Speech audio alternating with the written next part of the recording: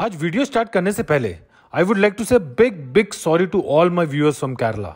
and all those people who love Malayalam movies just like me क्योंकि आज प्रियदर्शन भी commercialisation का शिकार हो गए।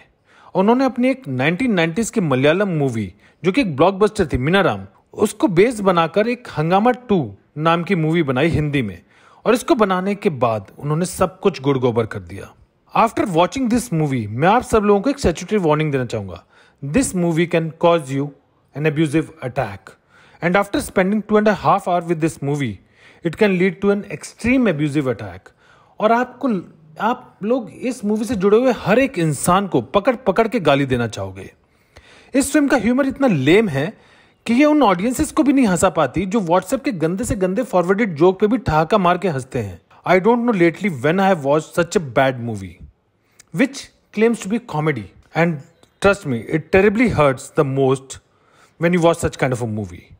I felt like for relaxation, I should go and watch some news channel which can provide a much better entertainment and comic relief. Arre yaar, was a classic movie, what I've heard and what I've read about, because I've not watched that movie. Then what was the need to change the plot? Priyadarshan attempted to make an out and out comedy movie, but trust me, there's not even a single pinch of comic moment in this movie. और सबसे बड़ी बात, जो dialogue writers और casting directors है ना, उनको तो सीरियसली पकड़ के तीन चार दिन के लिए कमरे में बंद कर देना चाहिए और उनको ये सजा मिलनी चाहिए कि भैया तुम्हें यही मूवी चार बार देखनी पड़ेगी, वो भी बैक टू बैक और Meezaan Jaffrey I don't know why Meezaan Jaffrey was casted for this movie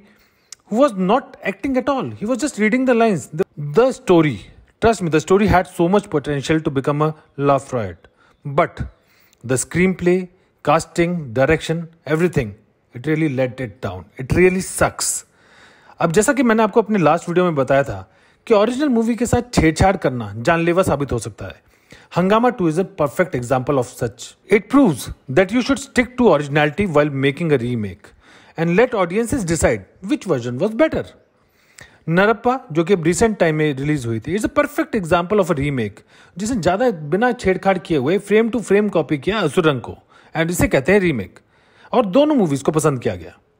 any anyway, अब मैं आपका ज़्यादा टाइम वेस्ट नहीं करता because I am really frustrated after seeing this movie so what's your opinion about the movie if you watch this do mention in the comment section and if you like my video do subscribe to my channel and like it will see you next video till then bye bye अरे हाँ एक बात तो बताना भूल ही गया इसके music के बारे में। इस फ़िल्म का music was so so so so unmusical bye bye